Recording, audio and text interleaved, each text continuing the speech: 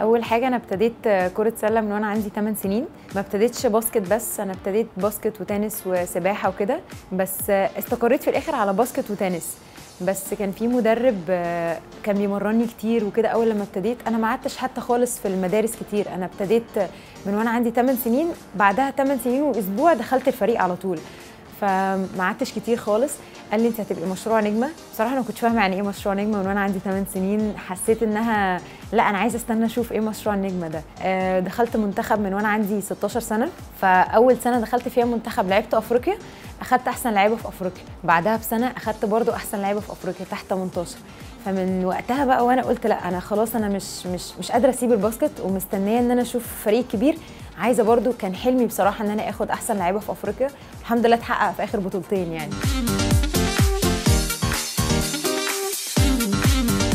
أكيد وأنا صغيرة وأنا في المدرسة كان كان الموضوع بصراحة كان بالنسبة لي أصعب من الجامعة. أنا كنت شاطرة جدا في الجامعة كان حتى متخرجة بامتياز بس كانت الجامعة على طول في عايزة تديني امتحانات لوحدي بمتحن.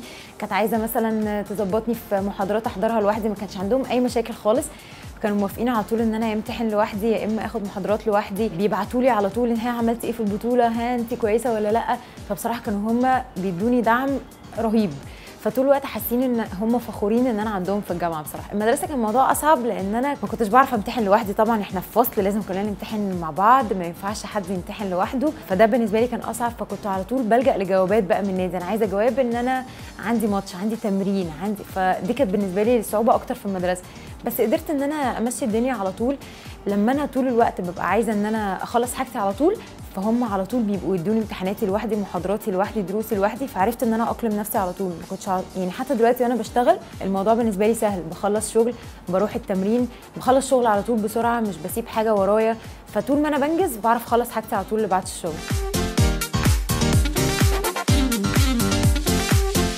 جات لي وأنا أنا كنت في الصيد أصلا طول عمري في الصيد. ده تاني موسم ليا في الأهلي. من وأنا في الصيد أول لما خلصت مدرسة وجيت أدخل الجامعة كانت سنة 2013 كنت لسه مخلصة بطولة أفريقيا على طول وكنت واخدة أحسن لعيبه في أفريقيا.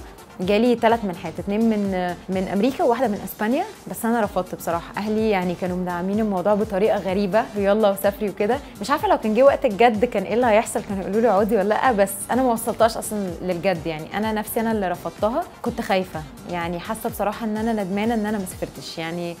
ليه طب ليه ما اجربش مع إن دلوقتي بقى كل الناس الصغيرين اللي بيخلصوا مدرسة وطالعين الجامعة لا خلاص هم رايحين يحترفوا على طول في دوري جامعات في أمريكا. أنا ندمت طبعا على الفرصة دي كفرصة تعليم وكفرصة باسكت. طبعا هبقى يعني احتكيت بثقافة تانية بفرق تانية بناس بره تانية فده كان هيضيف لي كتير قوي.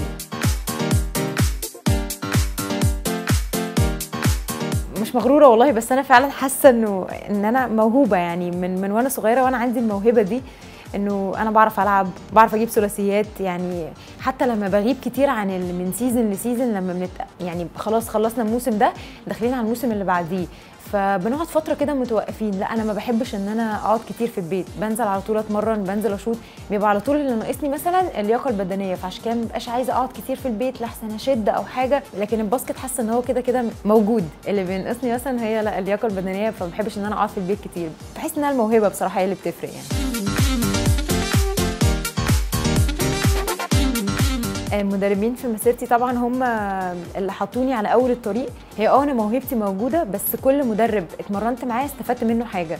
مفيش مدرب اتمرنت معاه إذا كان منتخب أو نادي ما استفدتش منه حاجة. خدت الحلو بتاع المدربين كلهم يعني ده استفدت منه حاجة ده استفدت منه حاجة واتمرنت مع مدربين كتير جدا جدا. طبعا المدرب اللي ليه يعني الفضل في اللي أنا وصلت له هو أول مدرب مرني في حياتي وكابتن سيد.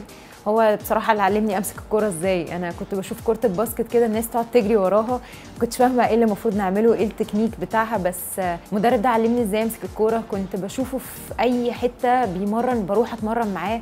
بتمرن ثلاث مرات في اليوم. آه طبعا كان بيأثر على دراستي وكده بس حاولت بصراحة إن أنا أوفق على قد ما أقدر. كنت بروح وراه بصراحة في كل حتة. هو ده اللي قال لي أنت هتبقي مشروع نجمة و... وصدق يعني بصراحة ما كدبش خالص.